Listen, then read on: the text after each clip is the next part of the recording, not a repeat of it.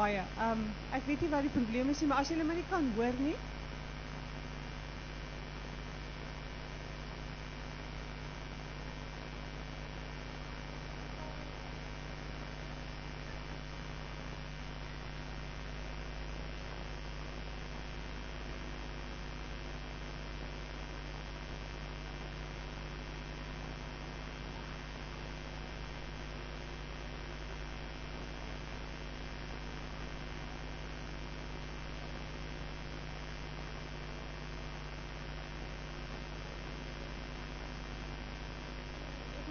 ons in in die in die huis van die Here teenwoordig is en as ek nou sê die huis van die Here, dan praat ek van die gebou nie, dan praat ek van ons.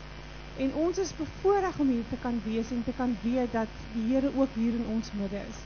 Um William, ons ouderling, ons het gevra dat hy net vir ons 'n gebed sal doen, ook um met die oog op op die mense wat nou so swaar kry, wat deur die vuur geraak is, dat hy ook namens ons gemeente ook net vir hulle sal intree. Asseblief William.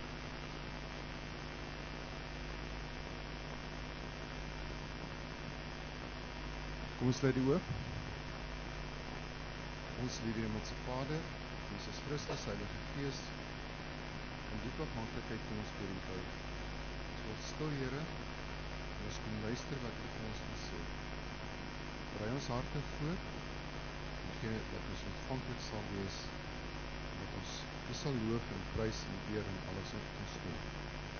Seën die predikers vandag, en Gerard, en Luke, hier op ons kampus die woord. En Here ons kom ook ons kom vra dat U sal wees met hulle wat in diep diep afhanklikheid of in diep bekommernis sit omdat hulle alles verloor het.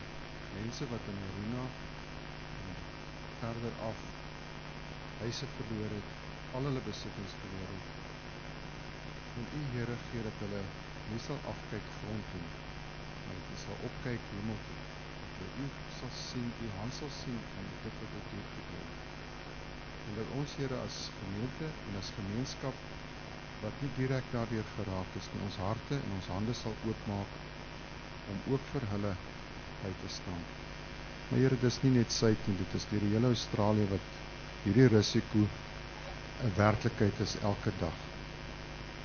En ek gee Here dat ons na U sal opkyk dat ons voorbereid sal wees en afhanklik sal wees nie net vir die aardse nie maar ook vir ons geestelike. Vergewe ons Here as ons U hartseer maak en waar ons U hartseer maak, waar ons nie geluister het wat U vir ons gevra het nie, nie gedoen het nie. Help ons Here om ons ore en ons oë en ons hande en ons harte oop te maak, ontvanklik te wees en elke dag te doen wat U vra. Ons vra dit in die naam van Jesus, ons verlosser alleen. Amen. Baie dankie William. En ons dan ook in aansluiting by die by die gebed, besef ons ook vanoggend as ons ons eerste lied saam sing, deur te sien op die kruis is daar lewe en heil. En ons besef daar's baie mense wat op hierdie stadium in ellende is, maar wat ook nie weet dat hulle heil van die Here afkom nie en dat dat ons hierdie geweldige verantwoordelikheid het om ook hierdie wonderlike evangelie met hulle te deel, geleenthede wat ons het en dat ons ook hierdie geleenthede sal gebruik. Kom ons staan en dan sing ons saam deur te sien op die kruis is daar lewe en heil.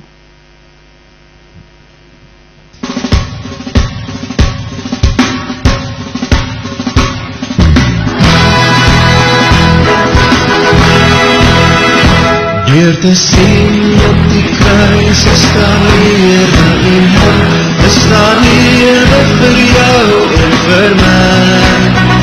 Sien geloof op God se heilig en leer, want verlossing bied Jesus jou vry.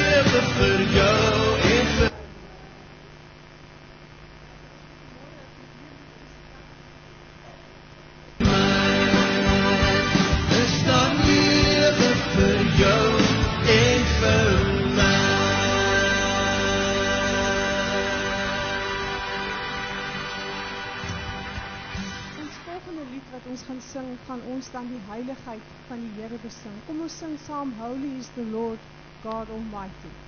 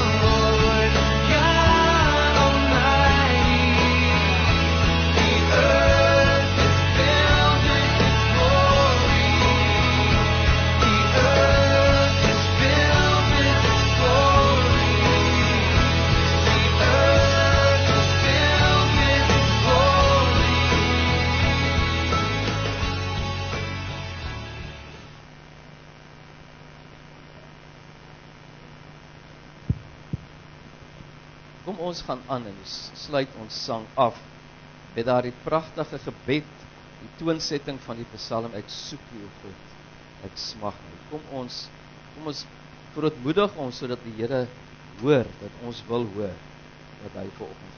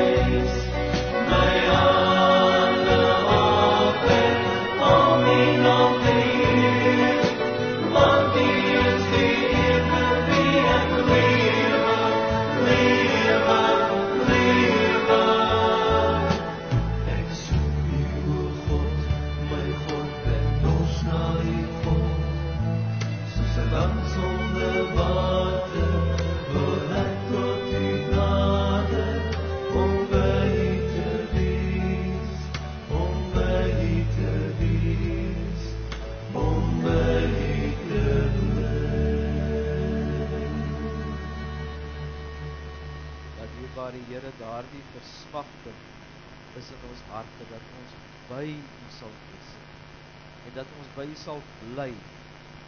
En soos die psalmdigter van ouds kom ons ook ver oggend om vir U te sê ons is juis ver oggend hier om nader aan U te kom. Ons is juis ver oggend hier omdat ons nie die jaar wil sonder U ingaan nie. En ons ons is al by die tweede Sondag van die jaar. Here, ons ons wil vir u vra dat u dan ook nou deur die woord met ons sal praat. Dat u vir ons sal aanspreek en aanspoor en aanmoedig. En dankie vir die besondere uh, ge gedeelte wat ons vanoggend weer besig kan wees. Maar dankie Here dat ons ook vir u kan sê ons smag na u. En ons wil u stem hoor en ons ons maak ook ons hart vir u bedoel. In Jesus se naam. Amen. Ons kan maar sit, dankie.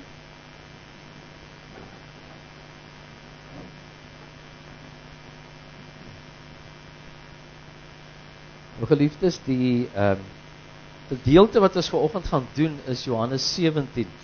Nou kan ek nou soos 'n soos 'n belydennisklas meneer nou vra, wie van julle weet wat is Johannes 17?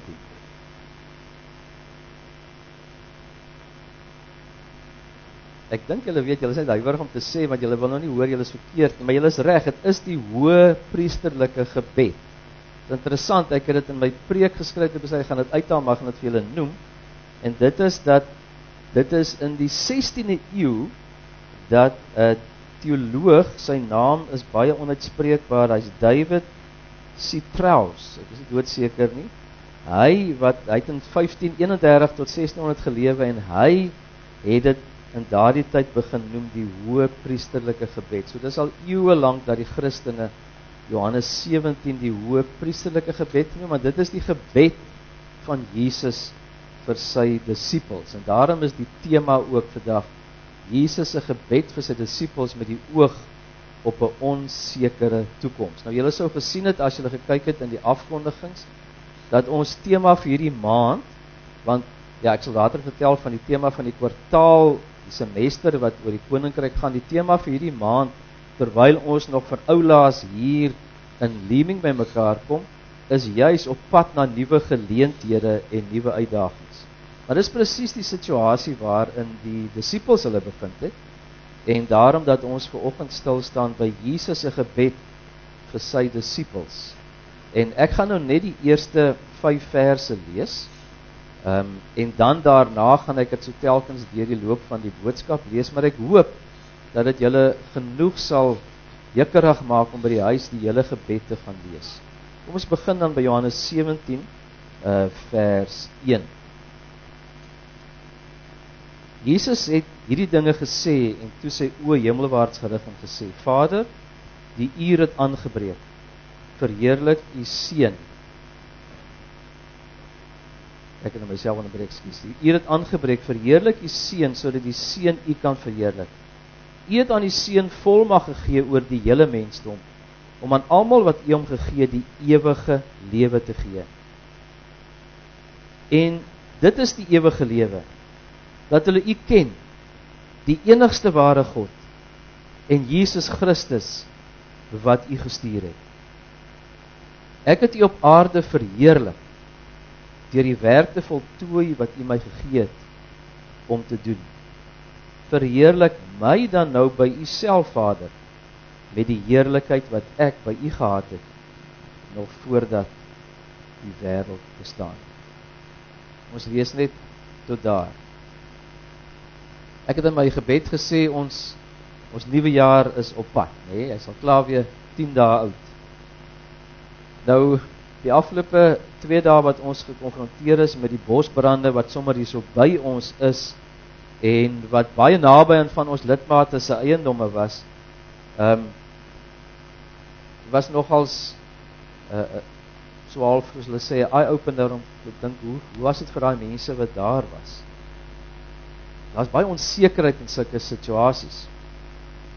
Maar dis nie net brande wat mense uh um van onsekerheid bewus maak nie. Ek dink in baie van ons huise is daar al hoe meer gemeentelede wat in vrees lewe rondom die rondom die aankomende moontlikheid van werksverlies of of 'n uh, personeelvermindering. Ek dink daar's daar's ook ander goed in mense se lewens wat wat so half nader kom en so half nader kom en wat 'n mens nie weet hoe om te hanteer nie.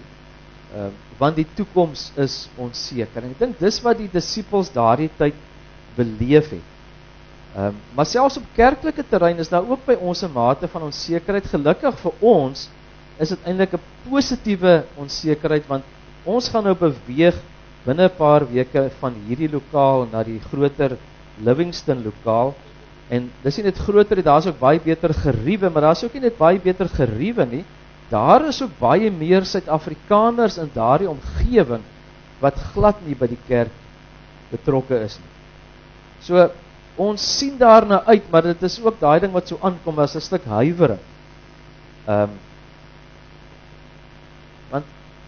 ek dink daar's ook al by ons so half in die agterkop, ons gaan hierdie hierdie warm lokaal mis. Wie van julle sal hand opsteek sê ja, nê? Nee, ons ons gaan hierdie lokaal mis. Ons gaan die lekker uitsig mis en en die saam met mekaar gesels in die son so hier, hier in die lente en die herfsttyd. Ons gaan dit mis. Ehm um, maar ons weet nie wat ons gaan mis as ons nie gaan nie. Verstaan julle? Da die Here het vir ons iets wonderliks in gedagte en hierdie mengsel van vrees vir die toekoms, maar ook uitsien en wonder hoe dit gaan wees. Um ek ek dink iets daarvan moes in die disippels se harte geleef het toe Jesus hierdie gebed vir hulle gebid het want hy het vir hulle gesê dat hy weggaan. Sy bediening van 3 jaar kom tot 'n einde en en ehm um, hy het vir hulle baie duidelik gesê hy is op pad om na sy Vader toe te gaan. En veral in hoofstukke 14 tot 16 vertel Jesus hulle daarvan. Hy ignoreer nie hulle hulle emosies en hulle teleurstellings en hulle vrees nie want ek vermoed dat hulle dat hulle bang was hoe gaan hulle nou kan aangaan sonder hom hoe hoe gaan dit wees as hy nie meer by hulle kan of wil wees nie um, ek dink daar was baie baie verwarring maar ook baie onsekerheid by hulle en en en dan sê vir hulle in daardie drie hoofstukke wat hierdie gebed vooraf gaan hy sê maar hy gaan die Heilige Gees vir hulle gee. Hulle gaan nie alleenig wees nie. Hy gaan hulle nie los as weeskinders nie. Hy gaan vir hulle ondersteun. Hy gaan eintlik altyd by hulle wees. Want die wonder van Jesus ehm um, alhoewel hy net 'n 3 jaar bediening gehad het en daai 3 jaar het ons hom leer ken dat hy die hart van die Vader kom wys het. En die Vader dit het Jesus gesê ken sy skape. Hy weet wat hulle onsekerheid is. Daarom bid Jesus daardie op. Of ek weet nie oggend, middag of aand was nie. Ek weet nie presies waar hulle was nie, maar wat ons wel agterkom as 'n mens die situasie sien is dat dat hy was nog so aan die praat met hulle toe toe bid hy. Dit was nie een van daardie gebede wat hy hom gaan afsonder het nie. Ons lees in vers 1: Jesus het hierdie dinge gesê en toe sy oë hemelwaarts gerig en gesê: Vader, het hy gebid. So dis nie een van daardie gebede wat hy hom gaan afsonder het terwyl hulle aangaan nie. Dit was 'n gebed in hulle midde. Hulle het elke woord daarvan gehoor. Dis 'n gebed van 'n Here wat soveel versorgende liefde vir sy skape, vir sy volgelinge het dat hy vir hulle bid in hierdie onseker tye. En en daarom dat ons ver oggend daarna kyk. Nou Johannes se evangelie is natuurlik heelwat anders as die ander 3 of evangelies. Hy word ook dikwels in die evangelies genoem as die as die apostel vir wie Jesus liefgehad het. En sy hele evangelie is vol van van liefde. Julle ken tog Johannes 3 vers 16. So lief het God die wêreld gehad. Ek sê dat Johannes wat dit geskryf het of ehm um, wat hy geskryf het in die eerste hoofstuk dat almal wat hom aangeneem het, die wat in hom glo het, hy die reg gegee om kinders van God genoem te word. Hulle is nie van nature nie, God is hulle Vader. Johannes is die een wat liefde en geloof regtig bymekaar bring. Maar hy was ook die enigste een van die vier evangeliste wat hierdie hoë priesterlike gebed opgeteken het. Um en en daarom kom ons kyk 'n bietjie wat wat staan hier in want wat vir en miskien wil ek dit vooraf al sê hoekom dit vir my so belangrik is ek dit met julle wil deel is dat ons ook nou binnekort gaan agterkom dat in hierdie gebed het Jesus al verder gebid as net sy disippels en het hy ook al vir jou en vir my gebid. Dit is hoekom hierdie Johannes 17 'n verdere belangrike betekenis het vir ons. Kom ons luister 'n bietjie daarna. Jesus in sy uh hoe sal ek dit nou stel? Want ek wil nou 'n bietjie afwyk van wat ek hier geskryf het. Jesus in sy nie besorgdheid nie, maar in sy uh behoefte om sy disippels te laat verstaan waaroor dit gaan. Verseker vir hulle nadat hy vir hulle vertel het dat hy weggaan dat hy hulle nie alleen gaan laat en dat hy iemand vir hulle gaan stuur om hulle te help die Heilige Gees in Engels is hy die comforter Afrikaans kan 'n mens sê trooster maar hy's eintlik meer die die parakletos beteken eintlik meer die advokaat die een wat 'n mens ondersteun die een wat 'n mens bystaan En dan dan sê hy maar julle weet nou daarvan. Maar dan bid hy die volgende. Hy sê Vader, U het vir my hierdie mense gegee. En ek het vir hulle die ewige lewe gegee. En dit is die ewige lewe. Ja, Dis die volgende skryf, ekskuus. Jy het aan die seun die volmag gegee oor die hele mensdom om aan almal wat hom gegee die ewige lewe te gee. En die ewige lewe is dat hulle u ken. Die enigste ware God en Jesus Christus wat u gestuur het. Ek het gekies om vir vir hierdie spesifieke gebed die nuwe lewende vertaling te gebruik.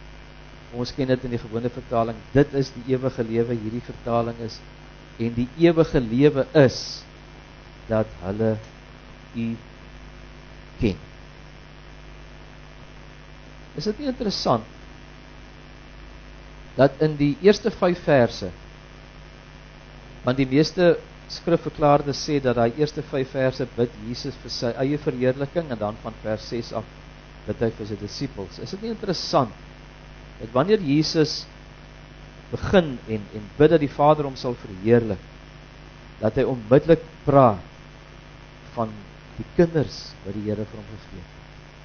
Die mense wat U hom uit die wêreld wat wat die Vader hom uit die wêreld uitgegee het. Dis nie interessant dat hy by die begin van sy gebed alreeds uitspel wat die ewige lewe is. Die ewige lewe is dat hulle U ken. Die almagtige God dat hulle hom ken en Jesus wat deur hom gestuur is. Met ander woorde, Dis anderste as wat ons dit miskien soms verstaan want baie van ons sien die ewige lewe as 'n as 'n doel of as 'n prys of as 'n plek. Uh, en in daardie in daardie tipe van verwysing sien 'n mens dit as daar aan die kant of om nog te gebeur of daar ver of dis miskien dalk is dit nie vir my moontlik nie hoor julle dit terwyl Jesus kom sê van die begin af Dit gaan nie oor 'n prestasie in iemand se lewe nie. Dit gaan oor hoe iemand lewe. Dit gaan oor 'n verhouding. Die ewige lewe is net vir hulle beskore wat 'n lewende verhouding met die Here het. Want daardie woord ken wat in Grieks gnosis is, ek ken nou nie die Grieks so goed nie, maar maar dit is daardie soort van kennis wat 'n mens kry deur ervaring. Dis daardie kennis wat 'n mens het van jou ouers of jou kinders. Jy ken hulle want jy het saam met hulle groot geword of hulle het saam met jou groot geword. Ehm um, jy dis die dis die kennis wat jy het van jou lewensmaat. Jy ken hulle want jy daai sakke sout opgeëet. Verstaan julle? Dis die kennis wat 'n mens het omdat 'n mens dinge saam met mekaar beleef het, omdat daar kommunikasie is en omdat daar gedeelde ervarings is. Het jy 'n gedeelde ervaring met die Here? Het jy gedeelde ervarings met die Here? Het jy 'n lewe van gedeelde ervarings met die Here? Dit is die ewige lewe. Dit is wat die Here in die begin van hierdie gebed sê. It's not about religion. It's all about relationship. Dit gaan nie oor moets en moenies nie. Dit gaan oor of jy aan die Here verbind is in 'n lewensverbintenis. En dan vanuit hierdie perspektief gaan hy nou vanaf vers 6 en bid Jesus vir sy disippels, vir sy volgelinge. Hy sê in sy gebed, dit is hulle wat sy woorde gehoor het en dit geglo het. Hoor wat sê hy of wat bid hy vir hulle? Ek spring nou na vers 9 toe. Hy sê ek bid vir hulle. Ek bid nie vir die wêreld nie, maar vir die mense wat U my gegee het omdat hulle U se onthou hy het alreeds gesê dit is hulle wat sy woorde gehoor het en sy woorde aanvaar het ek bid vir hulle die mense wat U my gegee het omdat hulle U se is ek is nie langer in die wêreld nie hy het mos vir hulle gesê hy gaan weg maar hulle is nog in hierdie wêreld ek is op pad na U toe en hoor wat is sy eerste petition sy eerste versoek as hy vir hulle bid. Want hy het mos nou gesê vir wie hy bid. Hy bid vir die volgelinge van die Here, die kinders van die Here. Hy sê: Heilige Vader, bewaar hulle in U naam hulle wat een my gegee het sodat hulle net soos ons een kan wees. Bewaar hulle in die naam sodat hulle net soos ons een kan wees. Dit is baie interessant as 'n mens deur die kommentare lees dat hierdie gedagte van eenheid eintlik 'n goue draad was deur hierdie hele gebed. Na die einde van die gebed toe kom dit nog meer uit. Jesus het so 'n behoefte dat die volgelinge van die Here 'n eenheid sal wees. Dat daar geen verskeurdheid en verdeeldheid sal wees. Daarom is dit ook die groot ding wat uit Paulus se briewe kom, die gedagte van eenheid. Wat die ondersteuning van mekaar, maar meer is dit die eensgesindheid, dieselfde gedagte om op dieselfde bladsy as die Here te wees. Maar wat hy hier vra is nie in die eerste plek eenheid nie. En dis die uitvloeisel. Wat hy vra is bewaar hulle in u naam. Die naam wat U my gegee het. Geliefdes, ons leef nie in 'n maklike omgewing. En in jou persoonlike situasie gaan dit dalk nie baie goed nie. Jy het dalk nie 'n maklike toekoms wat vir jou voorlê nie.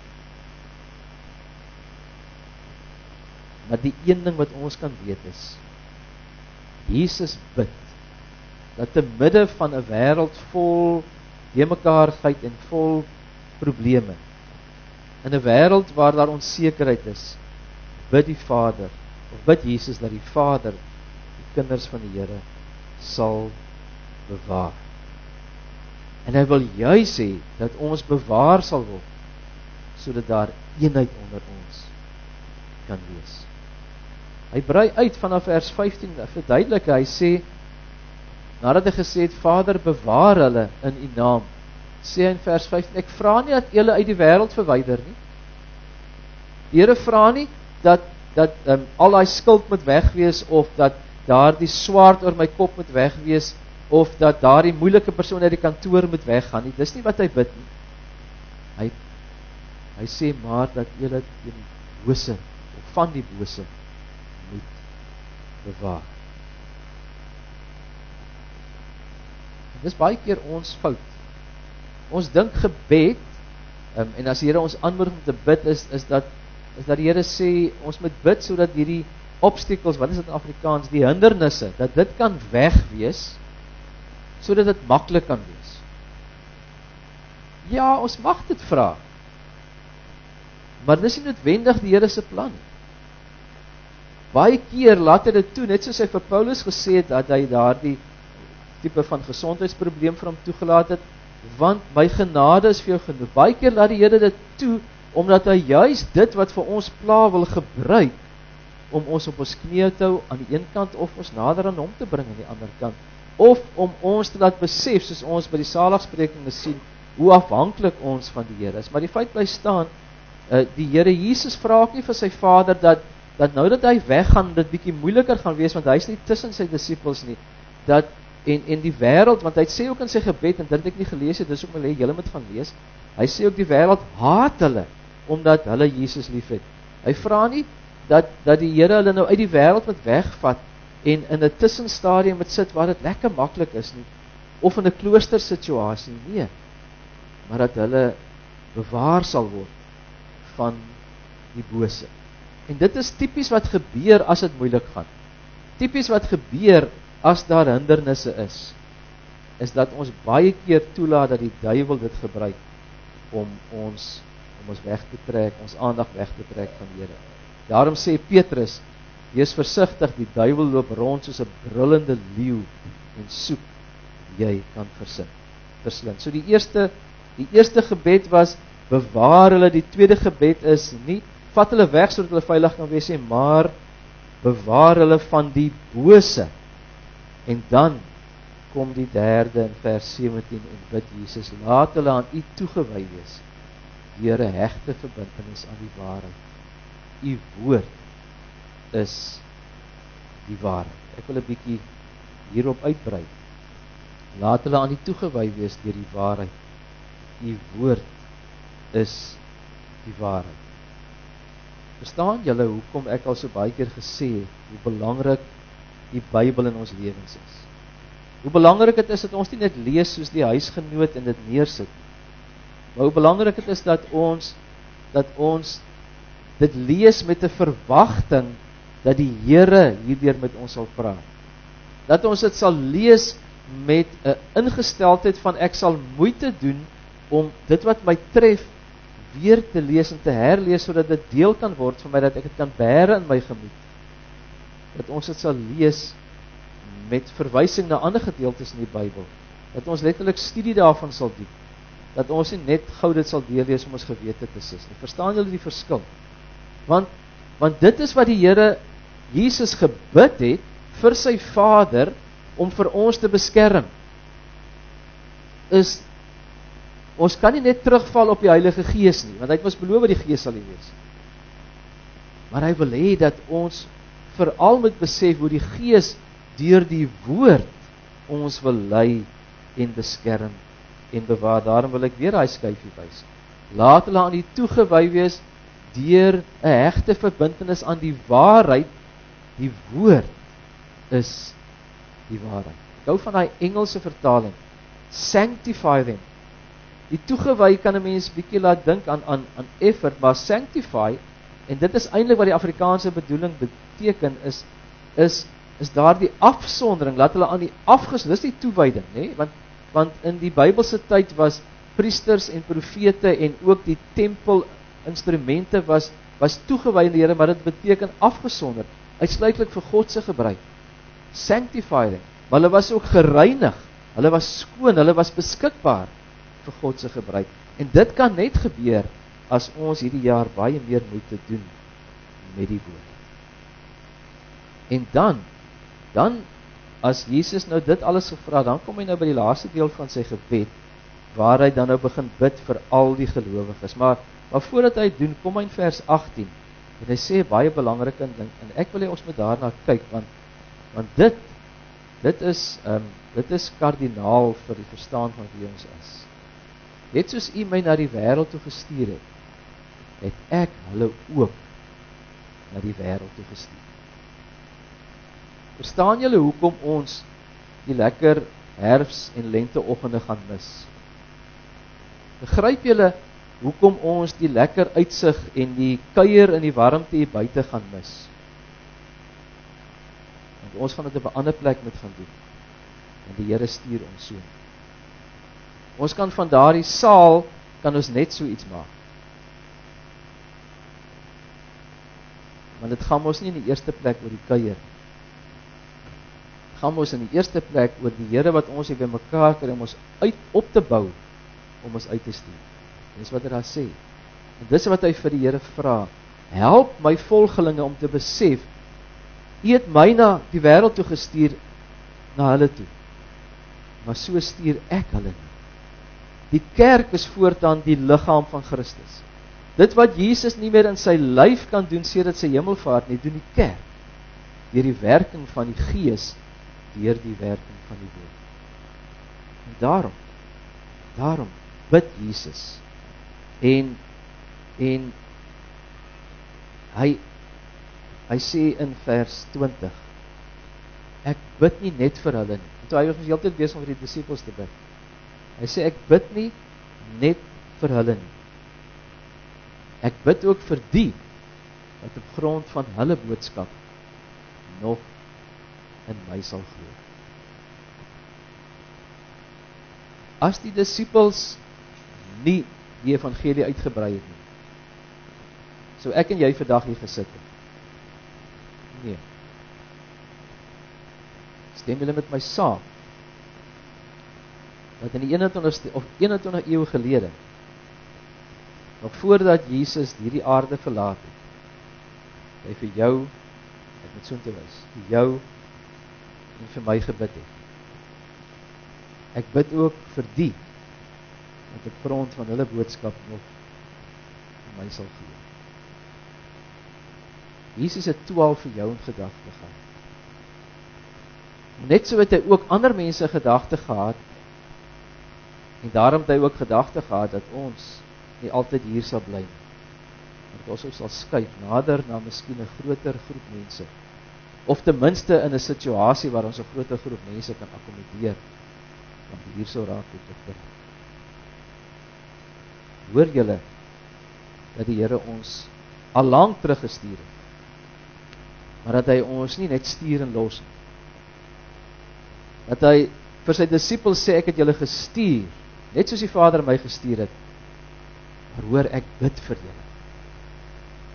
Maar hoor ook dat ek bid dat daar 'n effek sal wees uit julle getuienis. Want ek bid ook vir hulle dat deur julle getuienis tot bekering sal kom. Maar wat nou interessant is, as 'n mens nou aangaan, ons het mos gesien daar was 'n paar versoeke wat hy vir die disippels gevra het. Onder andere was een van hulle eenheid. Maar as 'n mens nou aangaan en kyk wat is die verskillende versoeke wat die Here bid vir diegene wat nog deur die dis, disippels se se werk tot bekering sal kom. Is daar net een versoek. En hy sê dit in die volgende vers. Ek bid dat hulle almal een mag wees net soos u Vader in 'n hegte verhouding met my en ek met u dat hulle ook in 'n hegte verhouding met ons sal leef sodat die wêreld kan glo dat u my gestuur het. Verstaan julle nou ook wat eenheid beteken? Want baie keer vergeet ons dit. Ons sien baie keer eenheid as eensgesindheid en eenheid tussen mense kom ons sê in 'n gemeente. Jesus sit daardie element by wat ons baie keer vergeet. En as ons daai element onthou, dan maak dit makliker om een te wees. Hy sê net soos u Vader in 'n hegte verhouding met my en ek met u dat hulle ook in 'n verheg in 'n hegte verhouding met ons sal wees. Vanuit die eenheid in die drie eenheid verstaan ons as gelowiges dis dat elkeen want onthou die drie eenheid is mos Vader wat die skepper is en onderhouer Jesus Christus wat die verlosser is en die Heilige Gees wat die trooster is en die een wat ons help om alles te verstaan wat ons oortuig van sonde. Elkeen het hulle eie onder onderskeie werke, maar hulle is deel van die een wese, die drie enige God. Hulle is nie drie afsonderlike gode nie. Nee. Dis een God, maar baie keer is die Vader meer prominent soos toe hy die aarde geskep het, maar Jesus was daar want hy het gepraat en die Heilige Gees was daar want hy het oor die water gesweef. Ander kere is Jesus meer prominent aan die aan die kruis, maar die Vader is daar want hy sê my God, my God, het U my verlaat en die Gees is ook daar want hy sê in U hande gee ek my gees oor. En dan ook op 'n ander keer is die Heilige Gees meer prominent as die uitstorting van Pinksterplaas. Kan jy hulle sien? En so is dit ook in die eenheid van die gelowiges. Mense wat soms 'n sekere funksie verrig is nie oor hulle beter of belangriker is nie. Dis 'n funksie wat daai oomblik verrig, ander keer is 'n ander funksie, ander keer is iemand anders. Maar hierdie eenheid, hierdie hierdie werking kan net plaasvind as daardie samewerking hier in samewerking met die Here is. Ek weet nie om dit beter te verduidelik. Maar as daar nie 'n koneksie met die Here is nie, dan help dit niks ons toe koneksie met mekaar. Dan kan as my bly. Ehm um, en en dit is is wat vir my tref van hierdie gebed. Hy het net hierdie een versoek. Ek bid dat hulle een mag wees sodat die wêreld kan glo dat U my gestuur het. Dan as 'n mens mooi daaraan dink. Ehm um, ek miskien net vir julle wys herhaal dit weer in vers 22. Sodat hulle een kan wees net soos ons een is. Ehm um, en dan sê dan aan die einde sodat die wêreld kan weet dat U my gestuur het dat U hulle liefhet net soos U my liefhet. Het julle ooit daaraan gedink? dat as 'n klomp mense wat totaal van mekaar verskil, want onthou ons sê ons is 'n community church. Ons sê ons is 'n multitalige kerk. So dit beteken uiteindelik gaan daar ook multi anderse mense by ons wees. Dit is logies. Dis waartoe ons groei. Jy het ooit daaraan gedink dat as 'n klomp mense vanuit verskillende agtergronde saamkom, saamwerk, saam bid en saam staan oor net een rede, nie iets wat hulle daai kry nie, maar oor Jesus Christus wat hulle gered het. Dit moet mos 'n impak maak in die wêreld, is dit nie so? Want 'n klap is nie so iets nie. 'n Klap is mense wat dieselfde idee het en bereid is om klapgelde daarvoor te betaal. Maar as daar 'n snaakse ou inkom, maar vat ek my goed in my loop of ek werk hom uit. Julle ken mos, né? Weet ons hoe dit werk. Die kerk is iets anders. Die kerk is 'n eenheid van van 'n verskeidenheid agtergronde wat deur Christus een agtergrond kry. Naamlik verlosters, disippels. En wat weet eeue terug is daar vir ons gebid dat ons een sal wees. En daarom daarom het ons net een passie. En dis die werk van die Here in sy koninkryk. Jesus het het hierdie eenheid vir ons afgebid en ons het hierdie eenheid koester. Dat dit moet deel wees van ons gebede en deel wees van ons werksaamhede. As net 'n laaste ding wat ek wil sê voordat ons afsluit. Ons moenie vergeet dat ons ingesluit was in daardie gebed. Maar as ons ingesluit was in daardie gebed, is dit nie waar dat Jesus met ander ook vir ons presies dieselfde bid. Toe al en hy het mos beloof hy hy hy bid nog steeds vir ons. Hy het mos gesê hy gaan vir ons plek voorberei en hy sê mos hy bid vir ons, hy tree vir ons in by die Vader. Is dit dan ook waar dat Jesus vir ons ook nog steeds toewens wat hy al daai tyd vir die disippels toe gewens het? Nie om uit die wêreld verwyder te word, maar om van die bose bewaar te word. Om aan God toegewy te wees deur die waarheid. Deur die woord. En laastens dat ons ook na die wêreld toe gestuur is soos hy na die wêreld toe gekom het. Daarom is dit die hoofrede hoekom ons skei. Maar is dit ook die hoofrede hoekom ons bestaan? Ons bestaan omdat Jesus ons geroep het, al lank terug uitgekies het sodat ons sal aangaan met die boodskap wat hy vir ons in gedagte het. God stuur ons na mense. Daarom moet ons daai blaadjies vat en moet ons vir mense gaan vertel. Daarom moet ons geleenthede gebruik in die werk of in ander situasies by die sportklub om met mense te praat. Want ons kan nou ook vir mense begin nooi na ons kerk toe want ons het 'n Engelse diens en ons het 'n Afrikaanse diens. Ons moet besef geliefdes, ons het 'n taak, ons het 'n verantwoordelikheid. En ons moet nie huiwer om dit uit te leef. Jesus het daarvoor gebid. Ons moet dit ook doen. Ek dink voordat ek bid, wil ek hê ons moet die lied sing as inleiding daarvoor. En dit is daardie pragtige lied beeld van God. Kom ons staan. Kom ons sê vir Here ook met hierdie lied dat ons wil deel wees van sy plan om 'n wêreld daar buite te bereik.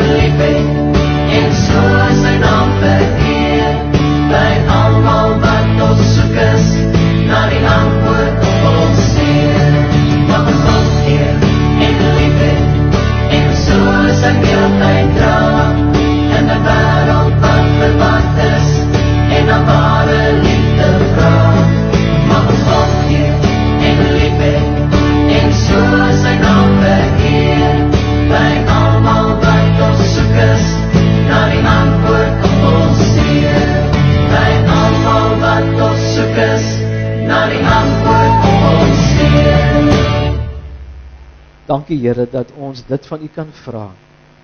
En dat ons ook vanoggend vir U kan sê dankie dat U ons uitstuur. Dankie dat U ons geroep het dat U vir ons toerus en dat U vir ons lank terug gebid het en steeds vir ons intree. En dankie dat ons kan weet dat U deur die Gees en die woord nie net by ons is maar maar ons ook by staan.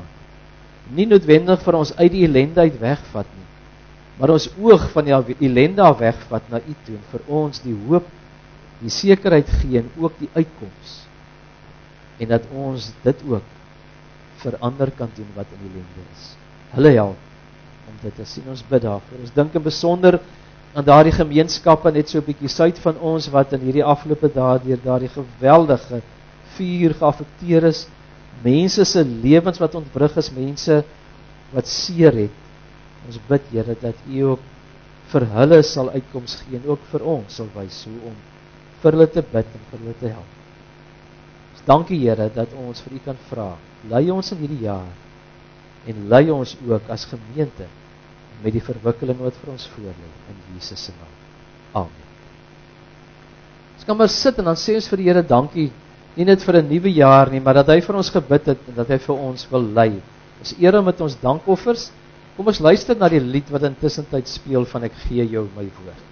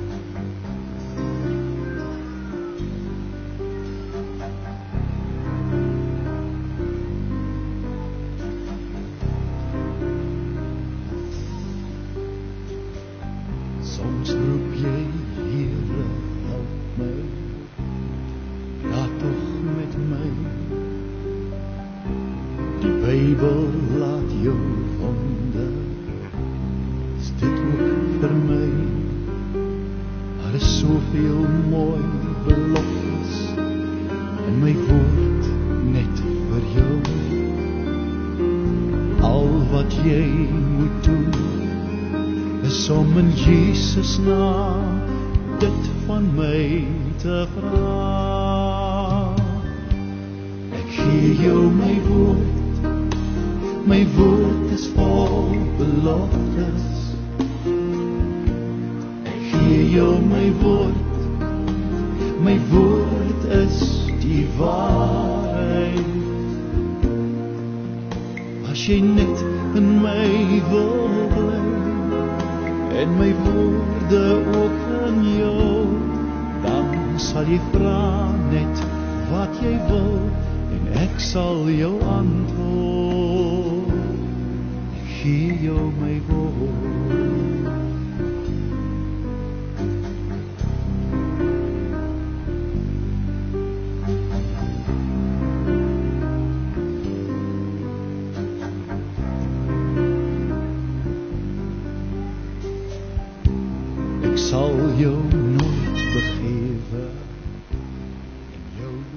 Kom ons kom ons bid saam.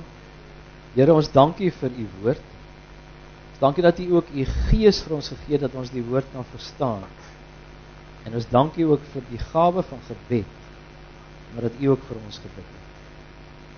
En ons dankie dat ons dan ook uit ons materiële middele vir u iets kon gee om te sê dankie. En ons bid gebruik dit asseblief tot verheerliking van u naam. Gebruik dit tot die uitbreiding van u koninkryk in die naam van Jesus. Amen. Die Geliefdes, net gou so 'n paar afkondigings. Ehm um, die eerste is as mens nou kyk na die tema vir hierdie maand. Ehm um, julle sal nou nou sien wat wat die tema van die van die semester is, maar die tema van hierdie maand is eintlik maar die samevatting van wat hier aangaan.